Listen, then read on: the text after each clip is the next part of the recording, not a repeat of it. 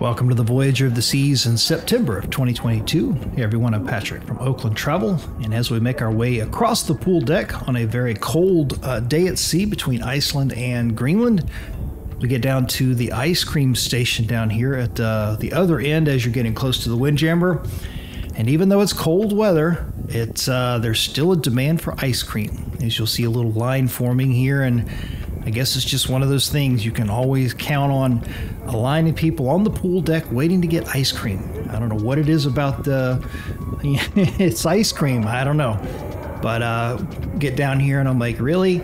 Because it was cold. I, I, don't remember what the temperature was, but you see everybody dressed up. You saw the crew member back there at the towel station. She was wrapped up. I mean, it's cold weather. You're outdoors. You're in the Arctic region. Uh, you even got somebody there in shorts. So I don't know. I guess uh, to each his own.